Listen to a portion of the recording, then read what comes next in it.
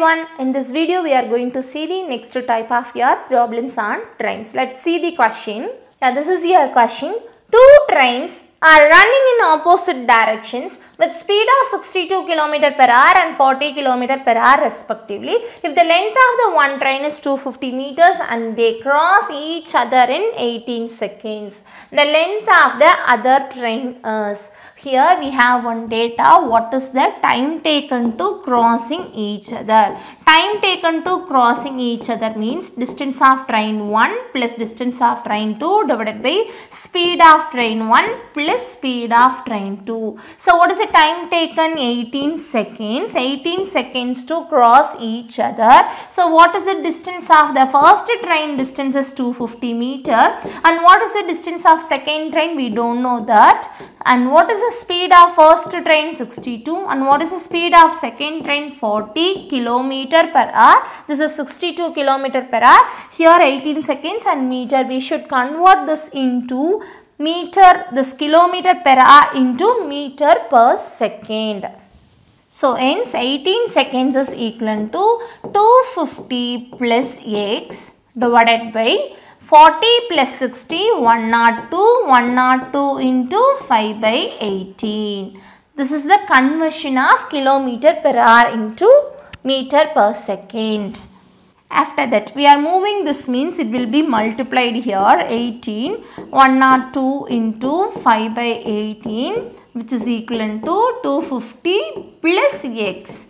So just observe the numbers. If it is 18 means here 18, the 18 will be 18 cancelled. 1 not 2 into 5. 5 2s are 10, 1 2s are 5, 10 which is equal to 250 plus x. Therefore, your length of another train is 510 minus 250. What is 510 minus 250? So 0, 11 minus 5 is, what is 11 minus 5? 6, 4 minus 2 is 2. The length of the another train is 260 meter. What is your answer here? There is no. So 10, 0 minus 0, 11 plus 5 is 6, 260. There is no, no answer is available here. So answer is none of these. So here the concepts are same but here the missing data is second train length. Here we are calculating the length of the second train.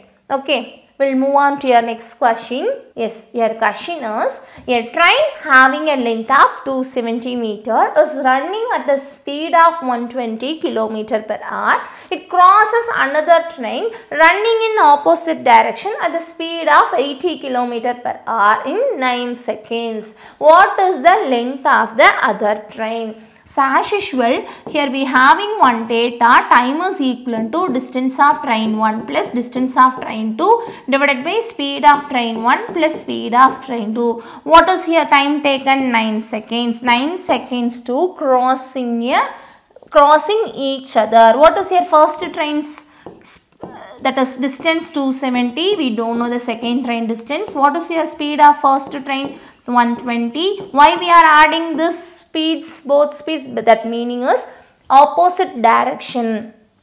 Opposite direction means we should add both the speed both the train speed. So 120 plus what is the speed of another train? 80 so as usual 9 that is time is equivalent to 9 which is equivalent to 270 plus x by 120 plus 8 is 200.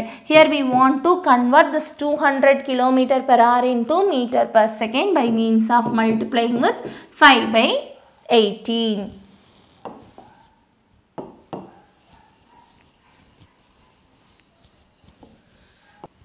Hence 9 is equal to 270 plus x divide by 200 into 5 by 18. This 5 by 18 will comes here means 9 into 200 into 5 by 18 which is equal to 270 plus x.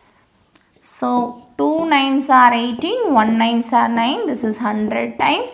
100 into 5 is 500 which is equivalent to 270 plus x. Therefore, the length of another train is 500 minus 270. So which is equivalent to that is 230 meter. So hence your option C is correct. Yeah, this is the example of how we can calculate the unknown data by means of crossing two trains by means of crossing each other in opposite direction. Thank you for watching.